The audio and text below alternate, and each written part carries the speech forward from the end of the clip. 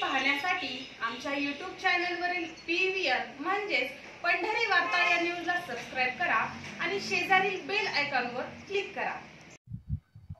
आज सकाळी वादळी वारे विजांच्या कडकडाटासह सुरू असलेल्या पावसात वीज पडून ईश्वर बठार येथील शेतकरी रवींद्र गुंडगे यांच्या गायीचा मृत्यू झाला.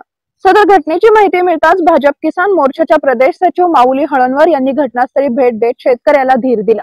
वीज पडली तेव्हा शेतकरी व त्याचा मुलगा या ठिकाणी गुरांना वैरण टाकत होता परंतु हातामध्ये वैरण कापण्यासाठी असणारी वेळ होती.